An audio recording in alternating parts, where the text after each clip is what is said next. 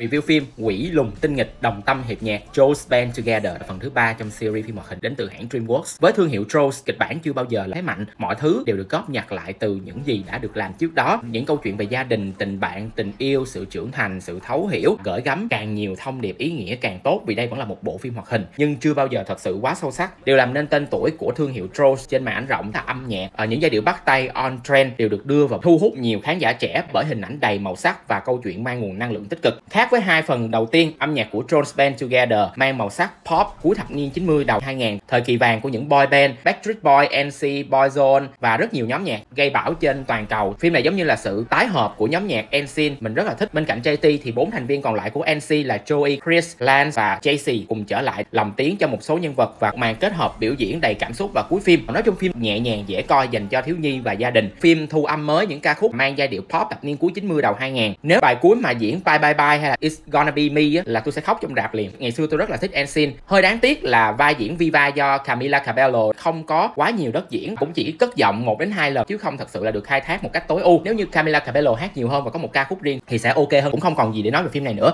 Chỉ biết là phim giàu năng lượng tích cực và mang những thông điệp đẹp đẽ về cuộc sống. Ờ, mặc dù cách làm vẫn cũ chứ không có gì mới cả. Ra rạp nghe nhạc, tận hưởng không khí vui vẻ là ok. Hết review rồi. Cảm ơn mọi người đã lắng nghe. Nếu mọi người thích video này hãy cho Phúc một like và nhớ bấm theo dõi kênh của Phúc để xem review phim chiếu rạp và series mỗi tuần ha. Chào tạm biệt và hẹn gặp lại.